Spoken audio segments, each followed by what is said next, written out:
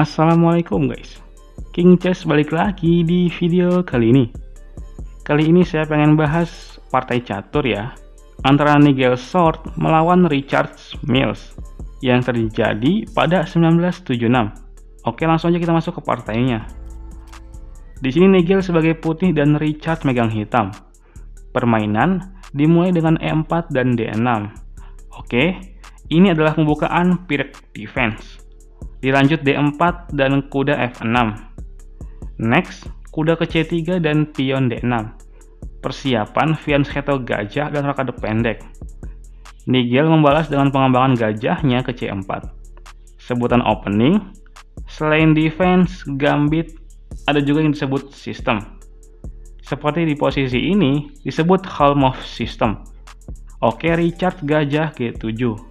Memang, gajah dan kuda ini sudah terbuka jalannya, tapi Nigel menunda mengembangkannya dan memilih Menteri E2 untuk membackup pion.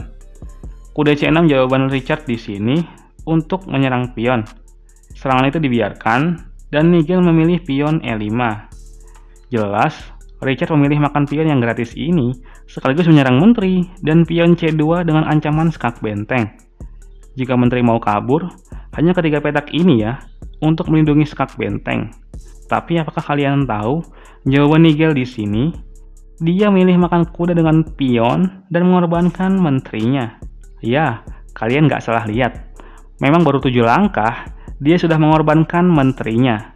Richard menerima pengorbanan dan memakan menteri dengan kuda. Dan Nigel pion kali gajah. Ingat ya, jika kuda kali kuda, maka pion kali benteng promosi menteri. Jadi Richard benteng G8, kuda kali kuda, dan benteng kali pion. Menteri dan dua pion ditukar dengan tiga perwira. Oke, dilanjut Nigel gajah ke H6 menyerang benteng, dan benteng mundur ke G8. Di sini Nigel rokade panjang. Bisa kita lihat di sini, benefit buat putih dari pertarungan di awal tadi. Dua gajah yang sangat kuat, dua kuda yang sudah berkembang, dan dua benteng yang sudah terhubung. Sementara hitam hanya gajah yang bisa melihat ke arah petak H3 dan yang lain tidak bisa bergerak. Tentu saja posisi putih sangat-sangat baik. Next ya, pion E6 oleh Richard membuka pandangan menteri. Dan pion H4 dari Nigel mencegah pion maju yang akan menjebak gajah. Gajah ke G7 mencoba mengaktifkan gajahnya. Dan kuda E4 oleh Nigel. Pion F6 pilihan Richard di sini agar raja bisa ke F7 dan benteng keluar dari kandangnya dibalas kuda F4 oleh Nigel, menyerang pion dua kali. Dan Raja F7 dibalas benteng S1. Di posisi ini, kalian jangan sembrono menyerang perwira putih dengan pion ya. Karena serangan ini bisa berujung skakster. Misal di sini, yang paling menjanjikan adalah pion D5. Terlihat double attack ya. Tapi putih bisa membalas dengan kuda kali D5. Jika pion kali kuda, maka gajah kali pion skak. Raja jangan ke E8 ya, karena kuda D6 double skak, skak mat. Jadi raja ke E7. Lanjut kuda C5 discover skak. Jika raja D6 kuda kali pion skak mat ya. Jadi raja menutup skak. Benteng kali gajah skak dan raja F7. Bisa benteng D6 discover skak, skak ster, tapi lebih menjanjikan benteng D ke S1 ancaman mat 1 dengan benteng E7 double skak.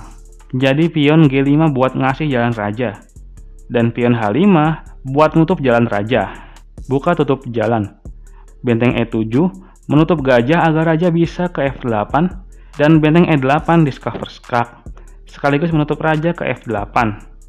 Terpaksa menteri kali gajah dan benteng E7 skak mat. Sengaja saya banyak analisis biar kalian nggak penasaran. Oke, balik lagi. Di sini Richard tahu pion E-nya perlu dilindungi. Jadi benteng ikut melindungi pion ke E8, pion G4 dan pion A5.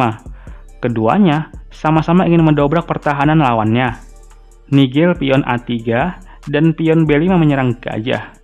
Dan gajah mundur ke A2, tetap membidik pertahanan raja dari jauh. Benteng E7 oleh hitam dibalas pion G5 menyerang pion dua kali. Tapi pion ini juga menutup jalan kabur buat gajah. Gerakan simpel oleh Richard dengan pion F5 menyerang kuda. Kuda masuk ke F6, serangan garpu gajah dan pion. Gajah C8 dan kuda kali pion. Pion C5 oleh Richard dibalas pion H5 oleh Nigel. Richard pion kali pion dan Nigel pion G6 skak. Raja G8, kuda F6 skak, Raja H8, dan kuda kali pion.